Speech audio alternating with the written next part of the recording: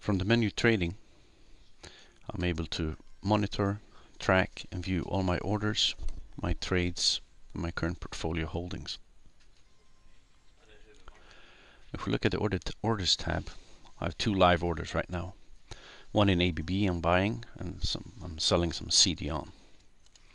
Should I want to change any of these orders, I simply just double click on the row and I get an order, order entry window. The purple background on the 154 spot 5 indicates that's where we're standing. Let's move this one up three ticks. So we're standing on the best bid, 154 spot, four ticks to 154.90,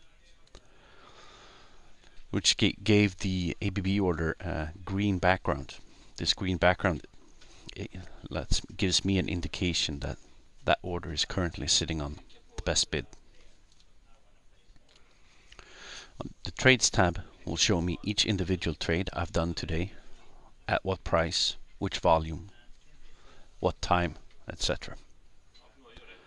The net trades tab will show me my net posi uh, trading positions intraday. So at the moment here, we are long 10,000 Volvo at average price of 76 spot 65. Should we sell these at the current market price, we would realize a profit of 9,500.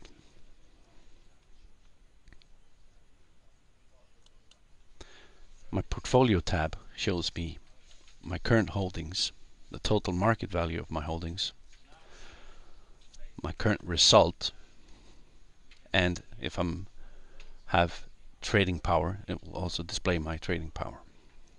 So as we see here, my current result is a negative of nearly 300,000 Swedish crowns.